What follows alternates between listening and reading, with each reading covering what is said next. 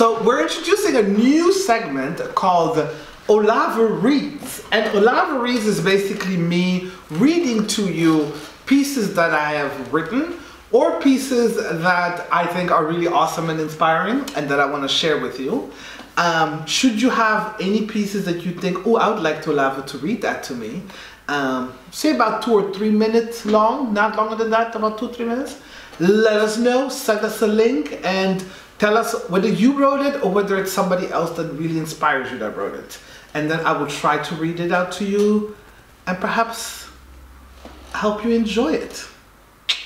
Hashtag melanin poppin by moi. Mijn melanine popt niet echt.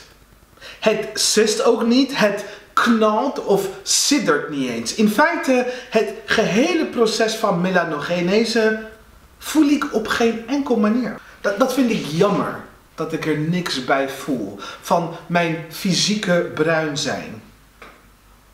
Ik wou dat ik het ervoer. Als de streling van een veer misschien. Of de natte, zwangere adem van Nederlandse zomers. Of de scherpe druk van de Burundese middagzon.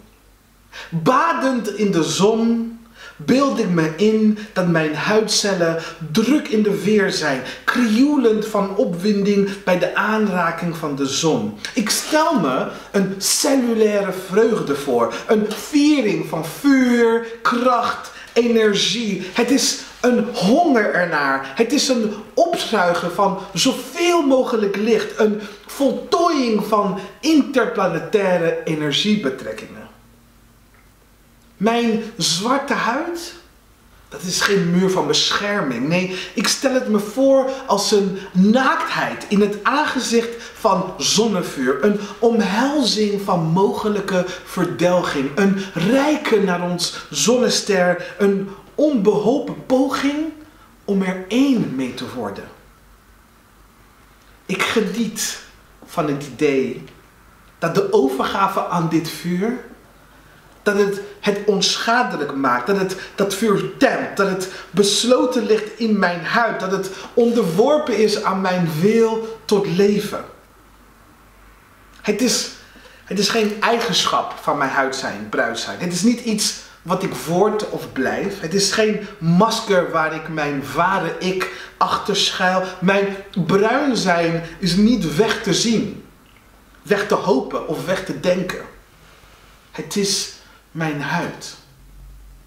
Het is een existentiële configuratie van mijn zijn. Het is een deel van mijn genetische opmaak. Het is een verhouding. Het is mijn verhouding tot het licht dat ons al omringt. Waar we van geboorte tot de dood doorheen bewegen.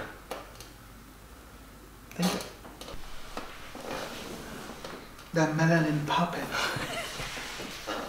Pop that melanin. Pop, pop.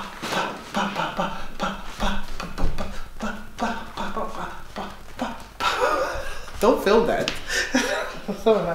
if this ends up in one of the bloopers, I'm suing you.